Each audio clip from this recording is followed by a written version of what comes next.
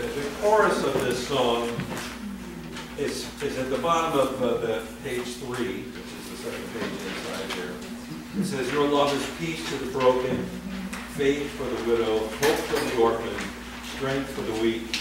Your love is the anthem of nations, rings out through the ages, and you're always enough for me. I think it's important for us to say, to take a look at what this is saying, and maybe what it's not saying. Because I think there's probably everybody in this room, that if I said, hey, is Jesus enough for you? You go, absolutely. And then you start thinking about what is it you're anxious about? What are the things you fear? What are the things that sadden you? What are the things that you wish you had? What are the, what are the things that you wish you didn't have that you have? And who are the people that you miss? And all those things that can so easily creep in create something that somehow doesn't make Christ enough. You know what I'm saying? And so it draws me to the psalm, and I, I know you, you've heard it before, because it kind of started with the whole, uh, as the deer pants for the water, so my soul. And I love how the psalms make us talk to ourselves. Most of the world thinks you're crazy, but the Bible says, no, do it. Talk to your soul. In Psalm 42, later after it, um, there's some really good self-talk going on here. He says, By day the Lord commands his steadfast love, and at night his song is with me, a prayer to the God of my life. And when you think of it, I think the next line is something about how wonderful God is. His song to God. But he goes on to say what his song is. I say to God, why have you forgotten me? Why do I go mourning because of the oppression of the enemy? Etc., etc., etc. Have you been there? You've been there with me? Because I've been there. right? You want to lay in your bed at night and think of all the great things you could say to God and talk about, and yet the psalmist is really honest about saying, He's not always there. But then what does he have to do? Here's the part you already know. He has to say to himself, Why are you downcast, O my? And why are you in turmoil within me? Hope in God, for I shall again praise him, my salvation and my God. What this song, Always Enough, is not going to say is that just because you have things on your mind doesn't mean Christ isn't enough. He will always be enough for you. Sometimes he, sometimes I think God allows us to lose things before we really see that he can be enough. That's a huge, huge part of, of not only being humbled, but also recognizing that what we, anything you would ever pray for, you already have in Christ. Think of it in those terms. Anything you would ever want to pray for, you already have in, in Christ. And I'm not talking about, I wish I had a brownie right now. You know what I'm saying? What I am saying is, I wish I had that satisfaction that really only Christ can give wish I could do this, or I really miss so-and-so. And Christ says, you have me. That's what, I, that's what I'm saying. And I think that's captured in Psalm 63. Oh God, it says, you are my God. Earnestly I seek you. My soul thirsts for you. My flesh faints for you, as in a dry and weary land where there is no water. You will find out that this anthem comes from basically Psalm 63. So I've looked upon you in the sanctuary, beholding your power in your glory. And I love the fact that the, the psalmist recognizes sometimes it's just getting into that place of worship where all of a sudden our minds begin to be clarified as to what we should be looking at. Just got back from seeing a whole lot of, of cathedrals and churches in England.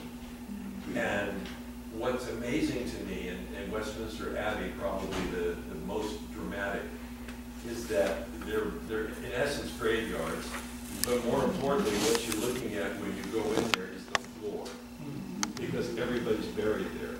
Now you'll see people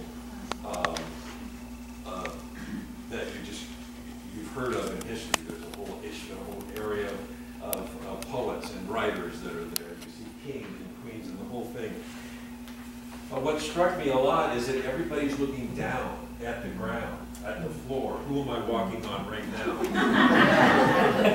and yet, if you just looked up, the magnificence of buildings that were built centuries and centuries ago, and you're going, how in the world? And God says, well, it's me. And if you look up, there's a whole different view of those places. And that's what this really is saying. Because you can, if you're looking down, finding all the dry and the weary land. Looking up, you're finding where God is. So I've looked upon you in the sanctuary, the psalmist says, and when he does, because your steadfast love is better than life, my lips will praise you. And he goes on to say, my soul will be satisfied as with fat and rich food. As if, again, it's more the issue of contentment that we're after here. And my mouth will praise you with joyful lips when I remember you on my bed, and I meditate on you in the watches of the night. For you have been my help, and in the shadow of your wings I will sing for joy. Christ is enough. God is always enough. But that doesn't mean you're gonna, not going to have those times where, you're, where God allows things in your life. If the, the hope that I can give to you tonight is don't look down, look up. All right? Because that's what you have already in Christ. So let's take a look at this. Let's take a look at this. In the dry and weary land, Lord, you are the rain. That's what the psalmist said. In a sea of shattered ones, that's you and me. I hope you know how shattered you are. I can share you a lot I am. Your love comes rushing in. And then it goes back. Now, those of you who don't read music, you'll see at the top page three, there's a one up there with a big long line. That means the first time you're going to sing those. The second time, we're going to, because we're going to go back to the second verse, which is behold the world within your hands. And then when we come to it the second time, the number two lot is in the middle of page three, and that's where we're going to go. The second verse says, behold the world within your hands, and see, I'm sorry, I'm sorry, you hold the world within your hands, and see each tear that falls. Through every fire, here's the second, in every storm, you're always enough, always enough. And then it goes on to say, as I said before, your love is peace to the broken. Why? Because we have peace with God through the Lord Jesus Christ. Faith for the widow. Right? There's enduring faith. There are people in this room that can tell you how difficult it is say goodbye to the person that they were married to. Right? But they also have the hope of faith that's there. And it goes on to say hope for the orphan. You belong. You belong. This is your family. This is your family. You know, strength for the weak. Your love is the anthem of nations, rings out through the ages, and you're always enough. And it'll go on, just like the psalm said. In the watches of the night, Lord, you are my song. Hope is in the morning light, your love shines like the dawn. That's going to be the tenors and basses singing that lightly. And then the ladies join us in the middle page six. You keep my heart in perfect peace. My life is in your hands.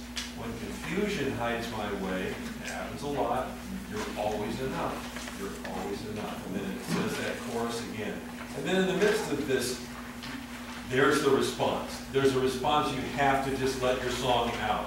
And that happens at the bottom of page 8. I rejoice, and the men sing, for my Savior reigns. I rejoice, for he lives in me. God on high, he has set me free, and worthy is the Lord. Now, when we get to the end of this piece, we're going to do a repeat of that because I think it needs one more repeat. I just felt it that way. Those of you who got the learning track on this, you recognize that you ran out of music before you ran out of notes. So, with that in mind, if you, go to page 11 and you find measure 69, that's the middle staff there, we're going to go back to that place uh, actually, we're using the pickup at the top of 11, the last three notes, I rejoice.